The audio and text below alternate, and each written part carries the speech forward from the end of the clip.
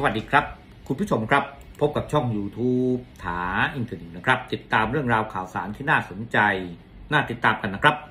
วันที่ 29 สิงหาคม 2565 มีรายงานข่าวของสื่อมวลชนต่างประเทศนะครับ โดยอ้างแหล่งข่าวจากกระทรวงกลาโหมของอังกฤษที่ให้สัมภาษณ์กับสื่อมวลชนว่า แม้ว่ารัฐบาลอังกฤษนั้นเนี่ยจะให้คำมั่นสัญญากับยูเครนว่าจะให้การช่วยเหลือด้านอาวุธกับยูเครน เพื่อใช้ในการต่อสู้กับกองทัพรัสเซียที่เปิดปฏิบัติการทางทหาร ในยูเครนมาตั้งแต่เมื่อวันที่ 24 กุมภาพันธ์ 2565 เนี่ยครับ ซึ่งจนถึงขณะนี้อังกฤษนั้นได้ให้การช่วยเหลือด้านอาวุธกับทางด้านยูเครนไปแล้วเนี่ยกว่า 2,300 ล้านปอนด์ด้วยกัน แต่ความเป็นจริงนั้นเนี่ยครับก็บอกว่าเวลานี้งบด้านการช่วยเหลือทางการทหารของอังกฤษต่อยูเครนกำลังจะหมดลง ก็คาดว่าจะอยู่ได้ถึงสิ้นปีนี้ หรือไม่ก็ ในช่วงต้นปี 2566 เท่านั้น สัปดาห์ที่ผ่านมานั้นบริสจอนสัน ซึ่งเดินทางไปเยือนกรุงเคียบอีกครั้ง ได้ประกาศจะให้การช่วยเหลือชุดใหม่แก่ยูเครนเพิ่มเติมอีก 54 ล้านปอนด์หรือมากกว่า 2,311 ล้านบาท นอกเหนือจาก 2,300 ล้านปอนด์ซึ่งแหล่งข่าวจากกระทรวงกลาโหมของอังกฤษก็ชี้ว่าภาระหนักจะตกอยู่ที่นายกรัฐมนตรีคนใหม่ที่จะเข้ามารับตำแหน่งในเดือนกันยายนนี้ที่จะต้องบริหารจัดการงบประมาณของประเทศ และความกระตือรือร้นของชาวอังกฤษ ในการที่จะสนับสนุนยูเครน เนื่องจากว่าเวลานี้หลายคนนั้นก็ไม่ต้องการที่จะสนับสนุนยูเครนต่อไป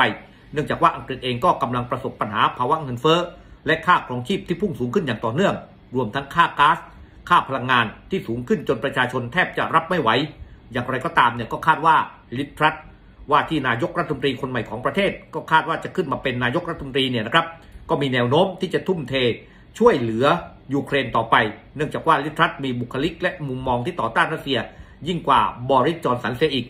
ทั้งนี้การคาดการณ์อัตราเงินเฟอ้อของอังกฤษนั้นจะพุ่งไปสู่ 18%ในช่วงต้นปี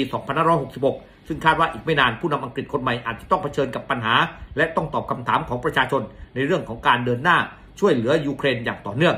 นี่ก็เป็นแหล่งข่าวจากกระทรวงกลาโหมของอังกฤษนะครับออกมาเปิดเผยกับสื่อมวลชน ว่าเวลานี้อังกฤษนั้นเนี่ยงบประมาณด้านกลาโหมที่จะใช้ สนับสนุนยูเครนนั้นก็ใกล้จะหมดแล้วเช่นเดียวกัน แล้วก็ภาระหน้าที่เนี่ยครับหลังจากที่บอริสจอนสันนั้น ได้ไปทำเอาไว้กับยูเครนก็จะตกไปแก่ว่าที่นายกรัฐมนตรีคนใหม่ โดยเฉพาะลิทรัตเนี่ยครับซึ่งเวลานี้มีคะแนนนิยมนทางด้านริชี่สุนัคอยู่ ก็คาดว่าจะเจอปัญหาหนักในการที่จะบริหารงบประมาณ โดยเฉพาะงบที่จะใช้ช่วยเหลือยูเครนในอนาคต ก็เป็นอีกหนึ่งเรื่องราวข่าวสารนะครับ ที่ช่อง THA Internews นั้นเกาะติดมาฝากคุณผู้ชมกัน หากว่าคุณผู้ชมนั้นชอบเรื่องราวข่าวสารจากต่างประเทศแบบนี้ ก็ฝากคุณผู้ชมนั้นกด subscribe กดติดตามช่อง THA Internews ด้วยครับ